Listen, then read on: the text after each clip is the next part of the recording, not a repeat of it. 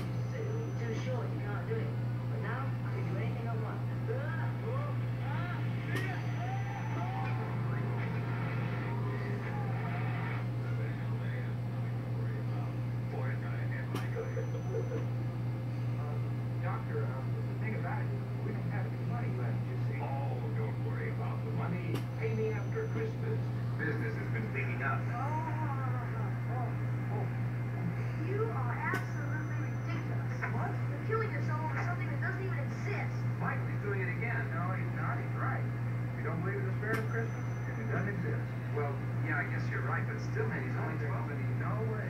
Somebody wants to keep shooting down a boat?